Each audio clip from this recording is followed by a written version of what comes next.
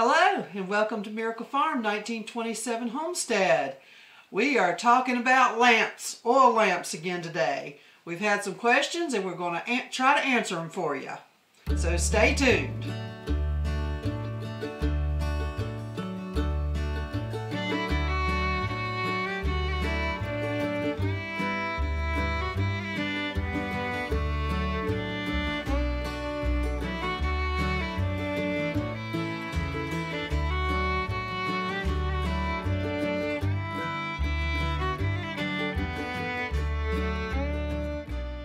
Okay, we've had some uh, questions uh, from some of our viewers. I mean, a lot of questions, and I didn't know people were so interested in oil lamps.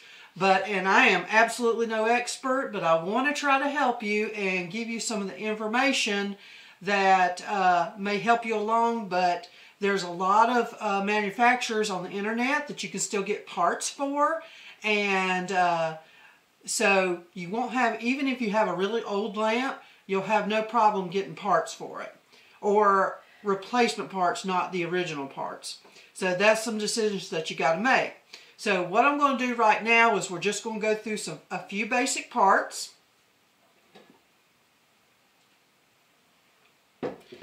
Now this oil lamp is old. It has no replacement. None of the parts on it have been replaced. And if you have an old lamp, um, a lot of the information will be right here on your thumb wheel. That's the little wheel that makes your wick go up and down. So it'll have the manu it usually will have the manufacturer's uh, name on here and where it's made, uh, especially if it's an old one. Um, so that's a that's the first place I'd look. Sometimes they have them up here on the burner, but most of the time they they want you to see it, so that was the only place that you could uh, uh, put it. So what I'm going to do right now is on this lamp, I'm going to give you a little rundown of the parts. First, we have the chimney. This whole piece right here is called the burner. So on this older one that is uh, not been replaced, it has a little shield over the wick. Has a little lip and they're usually stuck and it'll come right out. The whole thing will come off. Well, it's not going to today. And I'm not going to force it because, like I said, this is an old one.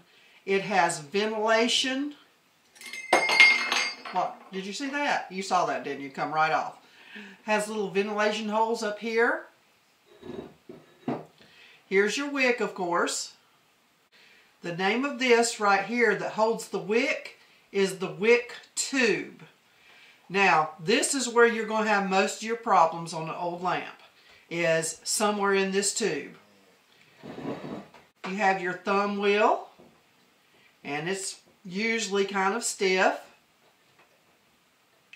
And I'm going to insert a picture of inside this wheel goes all the way through and it's got some little burrs on it that grab hold of your uh, wick. And uh, I'm going to try to insert a picture right here.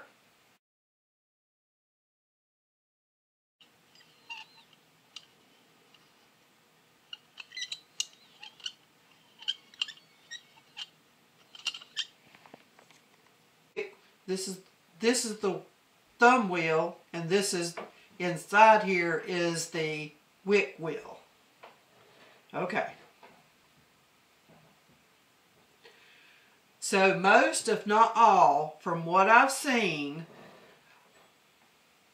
the whole burner screws off.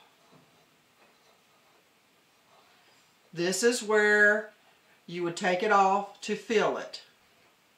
And most of the time I do not take it all the way off. I just lay it to the side. And this little piece on the inside, it's usually out of some kind of metal or brass.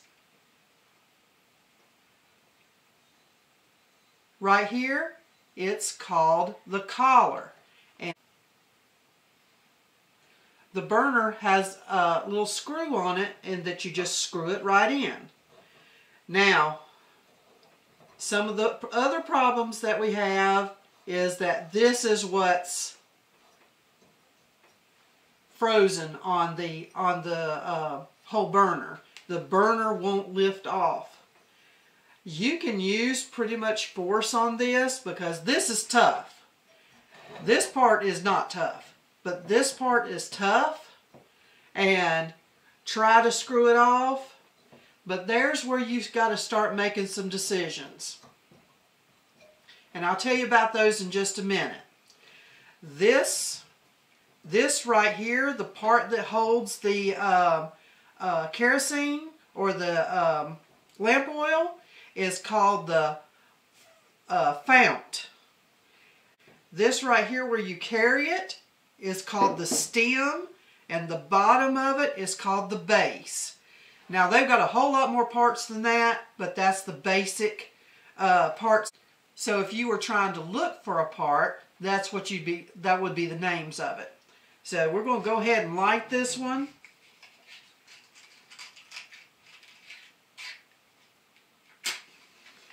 I have the uh, wick up.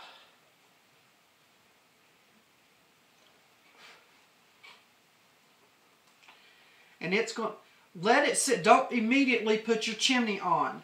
Let it get lit. It's going to have black smoke and then bring it back down with your thumb screw and put it down just a little bit lower than what you would normally burn it because as soon as you put the chimney on it protects it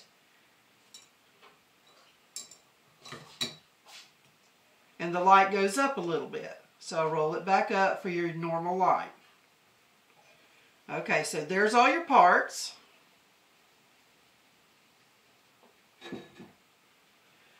now I've gotten these at hardware stores this is the one where I showed you inside where it's got the wick wheel and the little grabbers in there. And when you have a new wick, you put it up through the bottom. And those little grabbers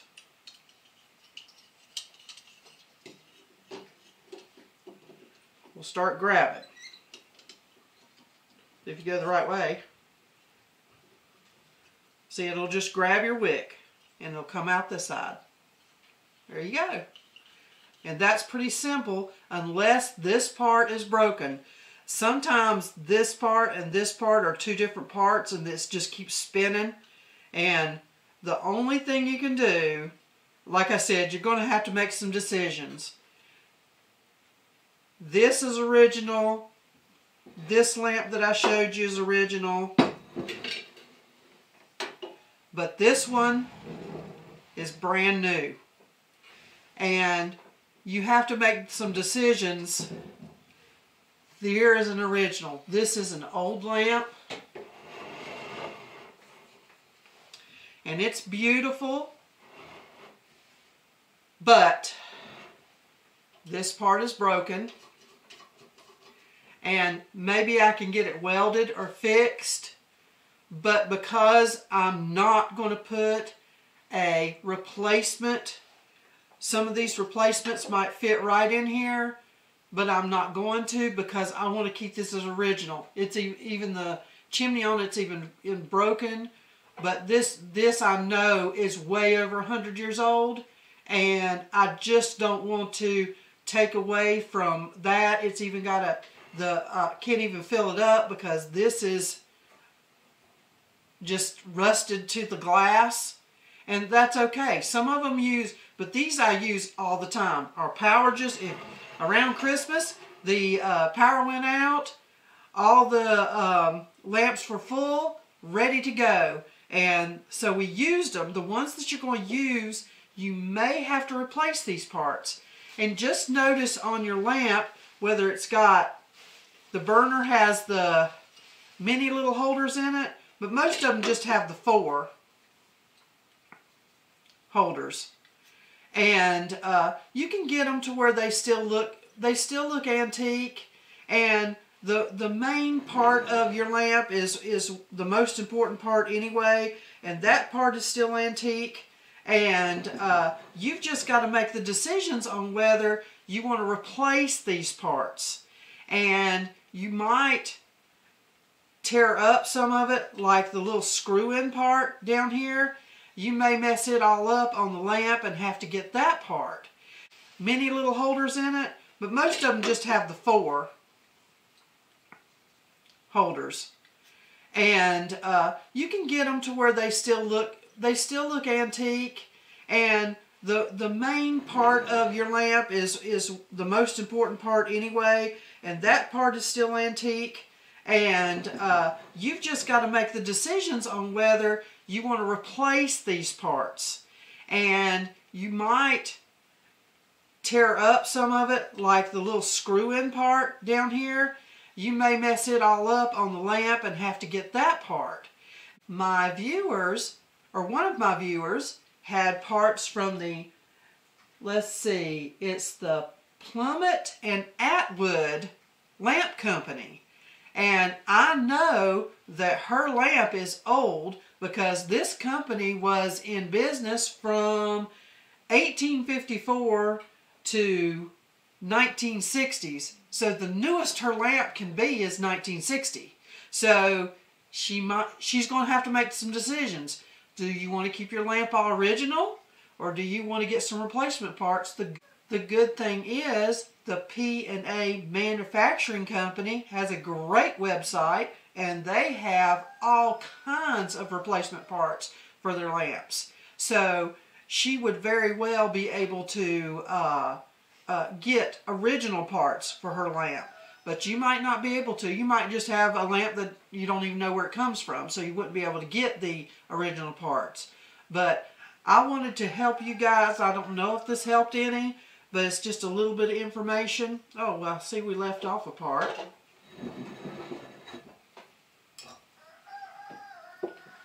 The little cover.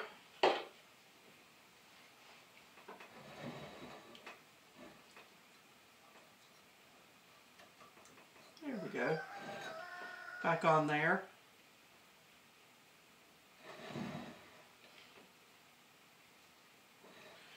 I had some good uh, thoughts and ideas from other viewers about using solar lights in the house, which that's a great idea. Just keep them outside and put them in a little vase or something. You can carry them around. That's the perfect thing for kids. That's absolutely the best thing in the world for kids. Now, they're not going to give off a whole lot of light, but they do. They're just as good as carrying around a little candle. But if you got teens and stuff, they can have a candle. And like I said, these aren't really the ones that you want to carry around a lot. They are heavy, uh, but you can carry them around. And just be careful. It's a two-hand job. That's what I that's what I tell my kids. And they fuss at me, oh, Mom, you're carrying it with one hand. Carry it with two hands, just so if you trip or anything, you've got both hands on this thing. We just want to be safe. But we also, in being safe, that's being able to have light when the lights go out. Because uh, you may have batteries, you may have flashlights, but they might not last. You don't want to use all that up. And these will light up a whole room for hours and hours and hours. We had our lights off for a couple hours. Uh, we lit up the wood stove and, well, no, first we lit our lamps, then we lit up the wood stove and we were absolutely comfortable and ha actually had company over and was able to continue to entertain our guests because the wood stove was keeping our food warm and these had the lights on. So um, if you have any more questions, I'm going to do my best to answer them.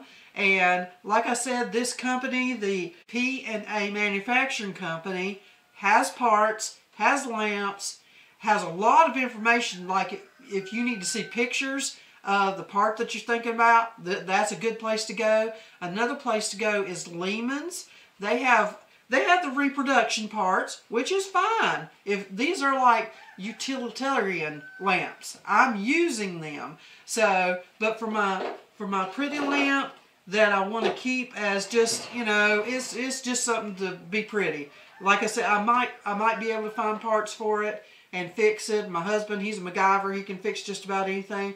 But right now I've got plenty of lamps and we're just leaving this as it was a gift and I'm just going to leave it uh, as it is. This was made in the USA by Aladdin. So I think Aladdin Company still still making lamps. I'm not sure, but I'm pretty sure you can get parts for them. So uh, don't despair if you've got a frozen part. You just make the decision if uh, if you want to go ahead and try to uh, put a replacement part on it or just keep it as a pretty. So bye guys, hope this helped. Blessings.